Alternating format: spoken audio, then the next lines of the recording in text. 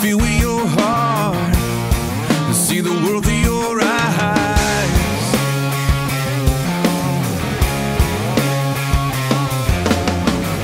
I wanna be your hands and feet.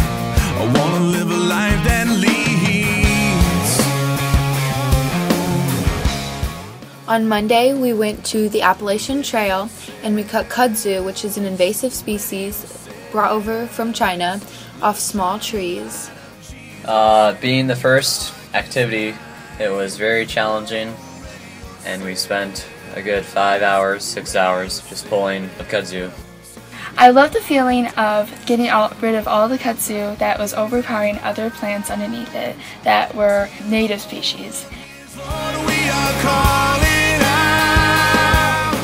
So on Tuesday, we all went to a day camp and we played with kids. We sort of organized what sort of games we wanted to play with them. We played color tag and kickball, and it was a lot of fun. And then afterwards, we went uh, and had lunch with them, and well, and they also watched a movie. And later, we all went down and swam with them. Tag in the pool, Oh, and yeah. they were just following us around all over the place. And they they really didn't want us to go when we had to.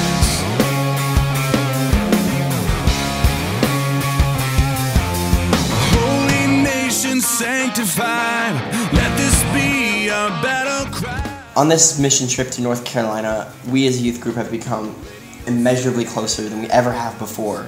It's almost mind boggling to think of us as anything else as just one big happy family.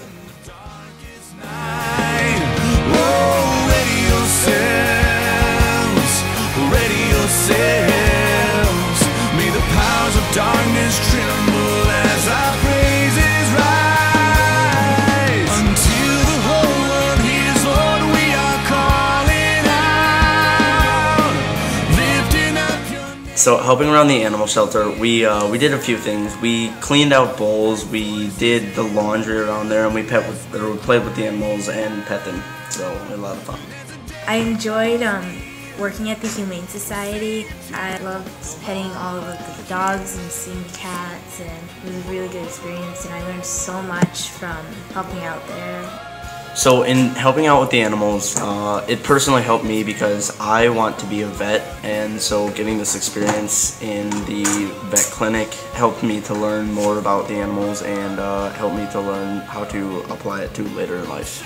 We also pulled weeds out of a feral cat community and they are trying to set that as an example to the community on what it should look like. The veterans were very willing to talk to all of us and share their stories. Seeing smiles on their faces was something I'll never forget. One in specific that stuck out was Uncle Mike. Caroline and I got the opportunity to talk with him, and he was the sweetest, most caring man. He shared his war experience stories, talked about his three year old grandson who's recently cancer free, and even gave relationship advice. Each and every veteran had their own stories, but they all had a very big impact on my experience here, and it was a pleasure to meet them all. When we first walked in, no one knew what to expect or what kind of people we would be interacting with. When we were kindly welcomed by Kelly, the director, she explained the recovery program for the ABCCM Veterans Restoration Quarters. During the talk, Mr. Sam came and told us a moving story about his life and how he received from the program and has now turned around and is working there helping others.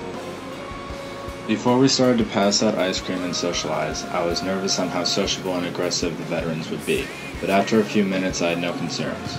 Going to a military school and having two parents that were in the Navy made it very easy to relate and become comfortable around them.